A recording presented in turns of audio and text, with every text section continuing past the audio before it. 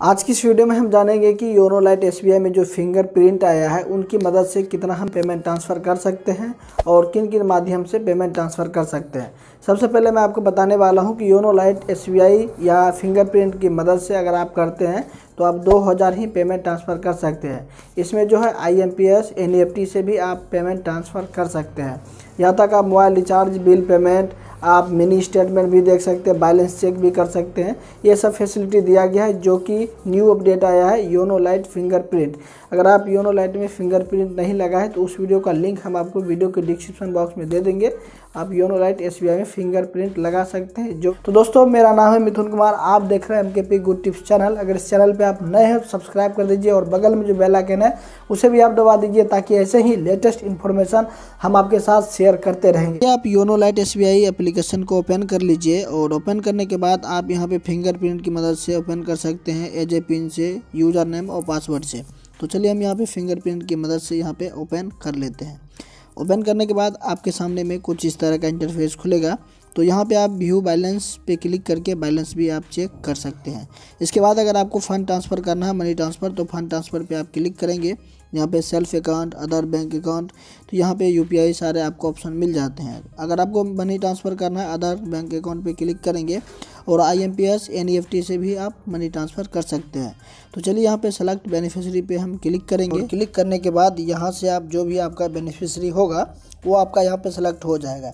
तो चलिए हम यहाँ पे फ़ंड ट्रांसफ़र करने के लिए तीन हज़ार यहाँ पर टाइप करते हैं, ताकि हम देखेंगे कि तीन हज़ार ट्रांसफ़र होता है या नहीं। तो सबमिट बटन पे हम क्लिक कर देंगे। तो आप यहाँ पे देख सकते हैं मैक्सिमम अमाउंट जो है दो हज़ार ही फिंगरप्रिंट की मदद से भेज सकते हैं। तो यहाँ पे चलिए हम दो हज़ार भेजेंगे। तो दो हज़ार टाइप कर दिए और यहाँ पे पर्पस आप कोई भी सेलेक्ट कर सकते हैं।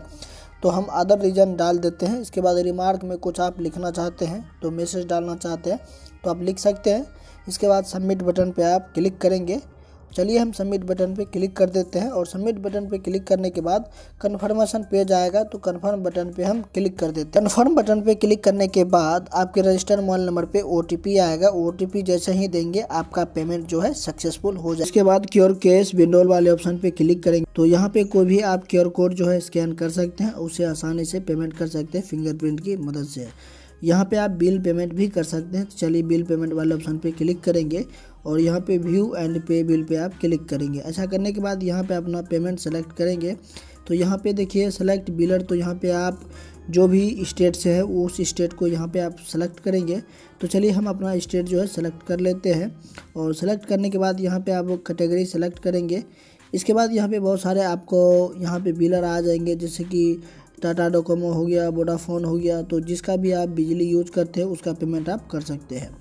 इसके बाद यहाँ पे आप जो है रिचार्ज भी कर सकते हैं और रिचार्ज करने के बाद यहाँ पे डीटीएच रिचार्ज, मोबाइल रिचार्ज भी आप यहाँ पे कर सकते हैं।